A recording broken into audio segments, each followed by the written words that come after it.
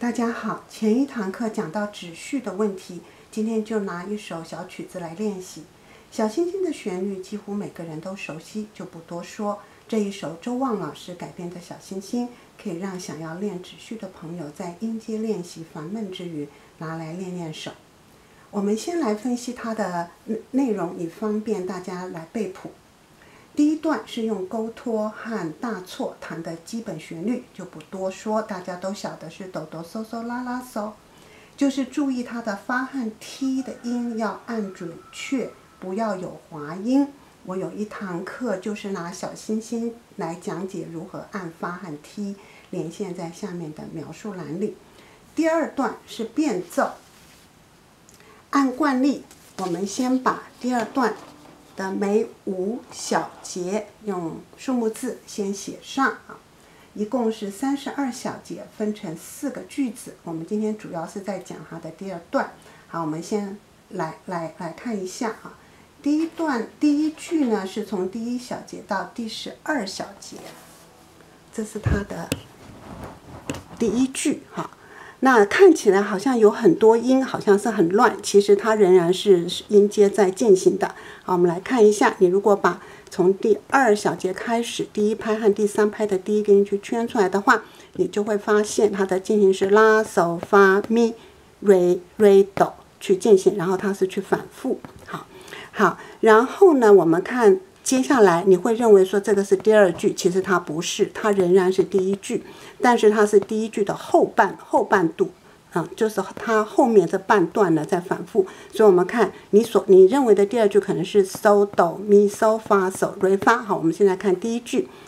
，OK，我们现在就看到 so do mi so fa so re re fa，所以它看起来像是第二句，其实是第一句的后半段去重复。接下来呢，它又在看。再开始把第一句再弹，再弹一遍。所以我们看第一句呢，现在已经弹了三遍半了哈，几乎你的整个曲子三分之二都弹完了。所以你只要把第一第一句去背好，你就没有什么需要去背的了。好，接下来第一句去反复完之后，就是我们的主旋律哈。那这个你也不需要背，哆哆嗦嗦拉拉嗦，然后它就是大拇指跟食指就是用托抹去啊，用托抹去弹的。只是它的食指，它抹的音呢是一种像装饰的音，所以你只要把大拇指的音稍微去弹的声音稍微去大一点，去强调它，你听出来它主旋律是哆哆嗦嗦拉拉手就可以了。好，弹完之后呢，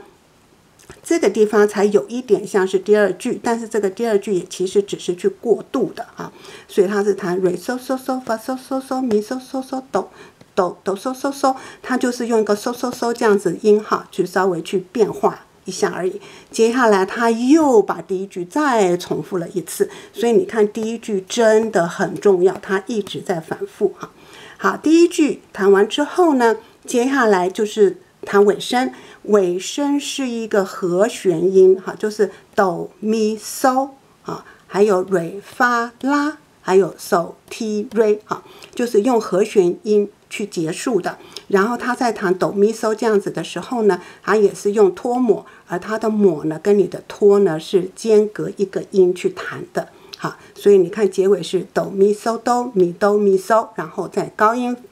高八度音哆咪嗦哆咪哆咪咪嗦做结尾，所以它的结尾呢是一个和弦去结尾的。好，这和弦的音呢，在钢琴上面是不难弹，但是但是呢，在古筝上面是不太好弹的哈，所以这个稍微去练一下，但是也不是真的是很难。好，我们现在先来看一下它的它的啊第第一句哈，它是用大拇指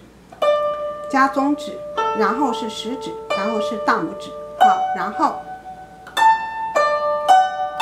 好，它的指头。顺序跟间隔都一直是保持这样子的，就是是大拇指先弹，然后是中指弹，但它的中指跟大拇指并不是中间隔四根弦的八八八度音，它是只有隔两根弦，所以它是弹好，然后接下来，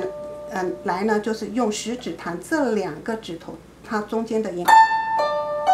接下来都一样，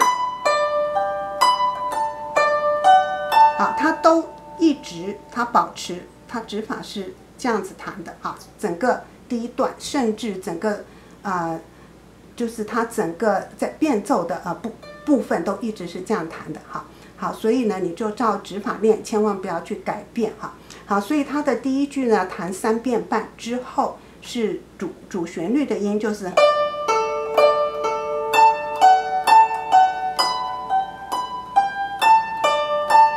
啊，就是托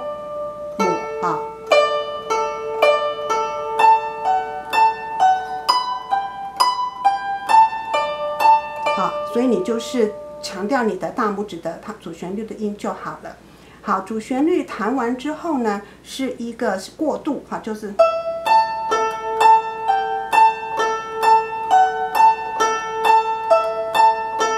好，它就是用收收收这样子去去过渡它哈，但是它的主音呢是在你的食指的抹上面。好，这一段弹这一句弹完之后呢，又是把第一句再重复。然后接下来呢是尾声，它尾声呢，它用的是哆咪嗦，用和弦。好，然后是瑞发啦，然后是手西瑞。